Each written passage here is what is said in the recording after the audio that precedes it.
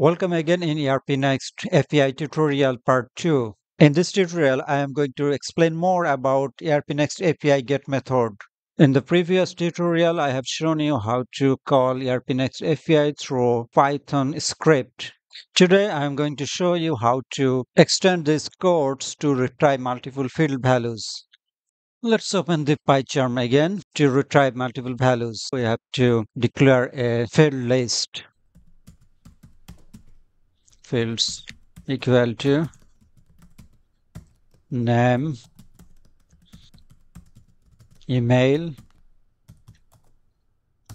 last login. So we are going to retrieve these three fields, name, email, and last login. Now let's modify this line of code a little bit. At the end of doc underscore type, I am adding few more things now let's run the code. Let's see what happens. The result is this. It is retrieving email address and last login date and time also. It's a simple example how to retrieve data from multiple fields. Let's modify the code a little bit to retrieve data from enabled field. Enabled and here I have changed this code a little bit to print out the output row by row. Here I am adding the enable field. Copy this part of code and paste it here. Need to add a comma here. Replace the name with status. The status is enabled. Run this code now. Now you can see it is showing result row by row. Some row with status 1 and another is status 0 1 means enabled and 0 means disabled. Now we are going to add some filter so that we can filter the result based on status. Let's do it.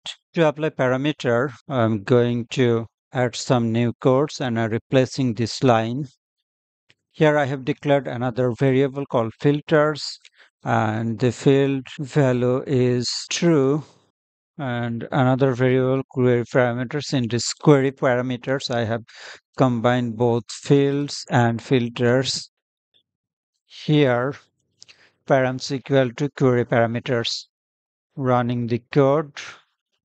Now these three user names are showing in the result because user that has status code 1, 1 means enabled, are showing in this result.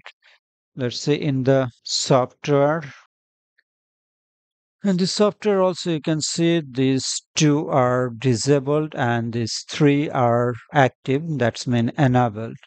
That is why it is showing only three line of result. Let's retrieve the disabled user list. Just change here, make it false, and run the code. Now we can see it is only showing two line of result and it is only showing those who has status equal to zero.